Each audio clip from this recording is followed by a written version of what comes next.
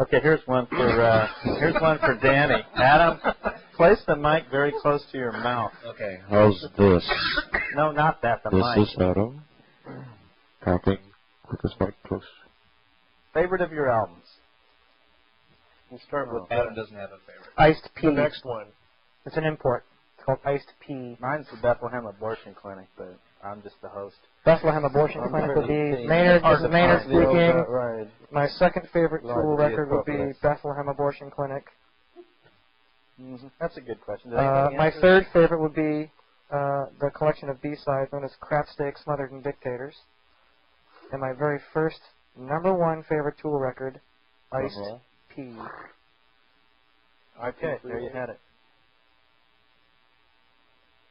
Uh, have you? Well, this is Maynard. Have you used different process for making your different albums? Uh, the answer to that is yes. Absolutely. Soon